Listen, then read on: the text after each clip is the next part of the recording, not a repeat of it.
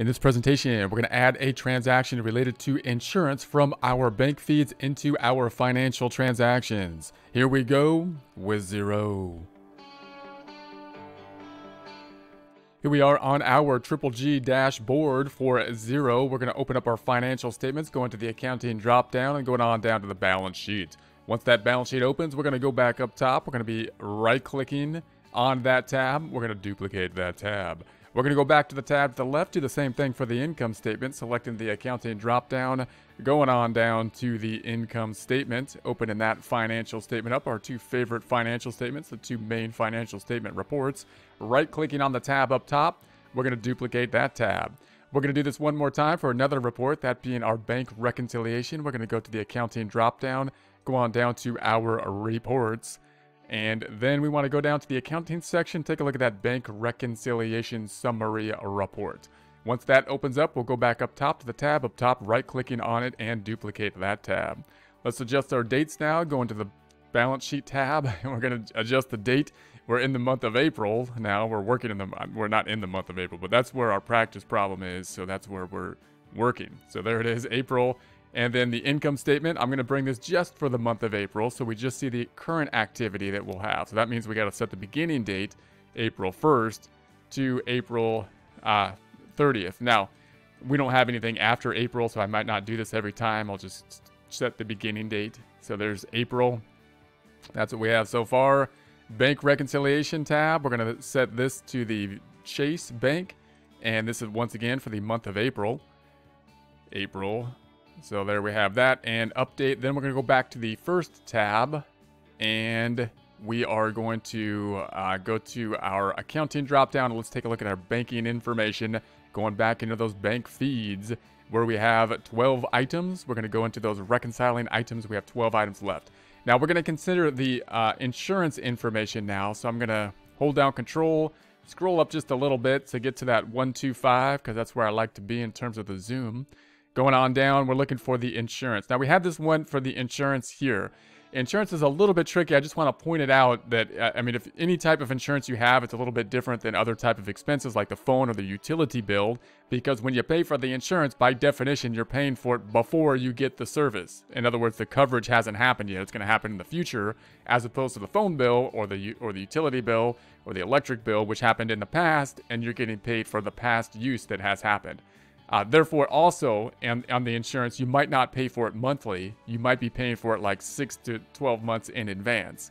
And that means that makes a difference because uh, if you were to expen- expense something like this, let's say we paid this insurance bill 12 months in, in advance in the month of April, and we expense it at the time of purchase, then what's going to happen is uh, in, in April, we'll have this big expense on it. And then in March, we won't have any expense, even though the coverage does coverage March as well. So when I do a comparison, in other words, from, from uh, April to March, April will look worse because of this big expense. But really, that expense was something that helped March and future periods.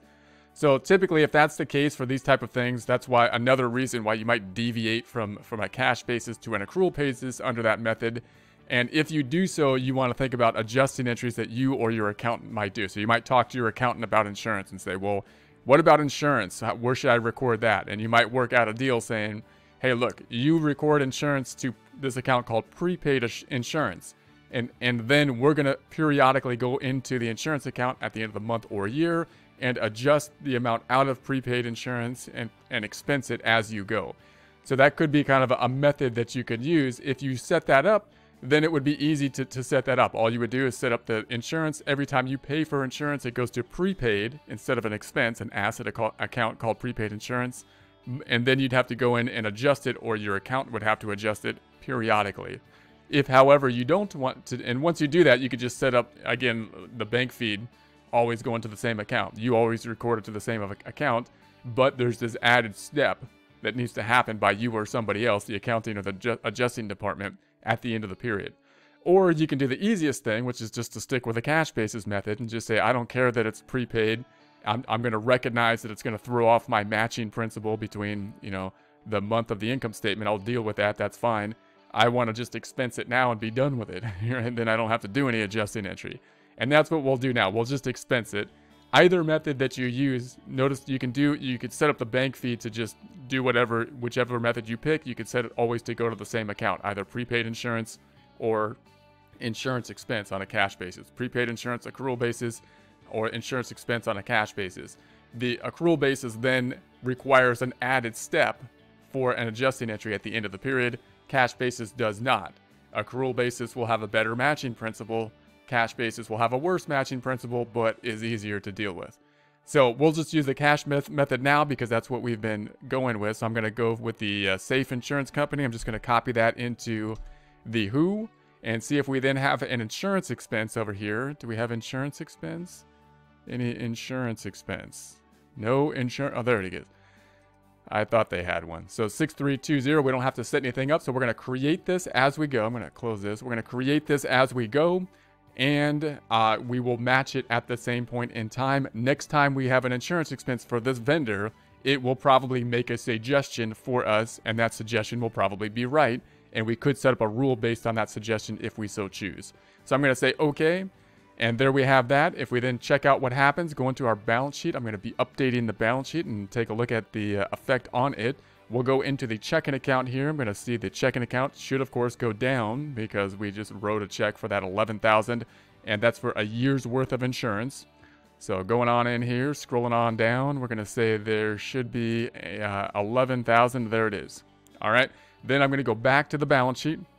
We're going to go then to the income statement. The other side, once I hit enter, is going to appear here on the income statement. So if I go back up top and say update, we're going to see the 11,000 here. Now again, that's a large amount, 11,000, because when I when I compare, say, April to the prior month, it, I didn't have the 11,000 there. Maybe it was covered by something that was paid in the past last month, and and, and I'm and now I have this big expense, which makes net income goes down. And then if I go to May, I'm not going to have an insurance expense because I didn't pay for it in May, even though May is benefiting from the insurance that I paid in April. That's what we call a problem with the matching principle. But as long as you recognize that and you see that, you could say, oh, well, that's why my insurance, my, my net income is low because of the insurance expense that I paid that's going to be affecting multiple periods into the future. You can kind of still make decisions based on that as long as you kind of recognize that uh, but that's going to be the problem with the cash versus uh, the uh, accrual method. And you also want to think, well, what, how are you going to report that for financial statement or tax purposes and whatnot? And for that, again, talk to your accountant with regards to any kind of prepayments and just see what they think would be the best system, work out a system that works best for you. Then we're going to go back up to the bank reconciliation tab, what's going to happen here is we're going to update this one. That's going to change this bank or book balance to what is on the balance sheet. On the balance sheet, we currently have 177,267. If I go back over here, it's also going to be removing that 11,000 as a reconciling item. Let's go ahead and do that. I'm going to update this report. And and I think that's right. Although this should be as of the end of, uh, I should have a, uh, April. I'm out in May. It won't make a difference here because I don't have anything in May. But if I update this report for the month of April, then same thing. We got the 177, 267.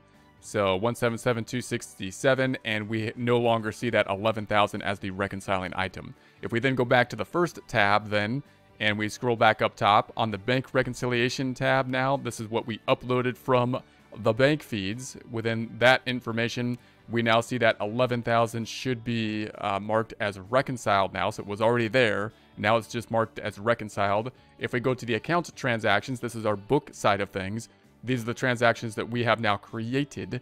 So there's the 11,000 that we now created and have reconciled basically at the same point in time. That's it for now. Let's get out of here.